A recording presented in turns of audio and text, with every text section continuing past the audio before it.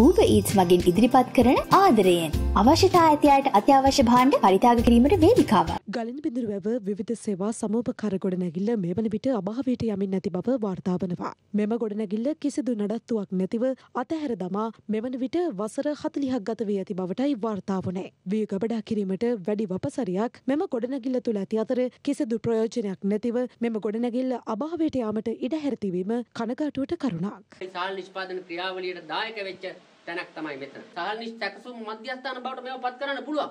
මන් දන්නේ මේ වගේ නැහැක් කරලවත් බලන්නේ නැහැ. රටක් කඩා වැටෙන්න රාජ්‍ය ආයතන වග කියනවා. මේ සඳහා ඇල්ම බැල්ම දාලා මෙවැනි තැන් සොයා බලා මේවා කාර්යක්ෂම කිරීම සඳහා කටයුතු කළොත් මේ රට ගොඩ ගන්න පුළුවන් නැත්නම් මේක වෙනත් රටකට විකුණලා දාන එක තමයි එහෙම නොකරනවා නම් කරන්න තියෙන කියලා තමයි අපි ගොවියෝ වෙනුවෙන් මේ අවස්ථාවේදී මතක්. කබඩා ප්‍රශ්නේ පුළුවන් මේවා රිපෙයාර් කරලා අලුත් වැඩියා කරලා ගන්න පුළුවන්. ඌබ ඊත්ස් මගින් ඉදිරිපත් කරන ආදරයෙන් අවශ්‍යතා ඇතියට අත්‍යවශ්‍ය භාණ්ඩ පරිතාග කිරීමට වේදිකාවක්.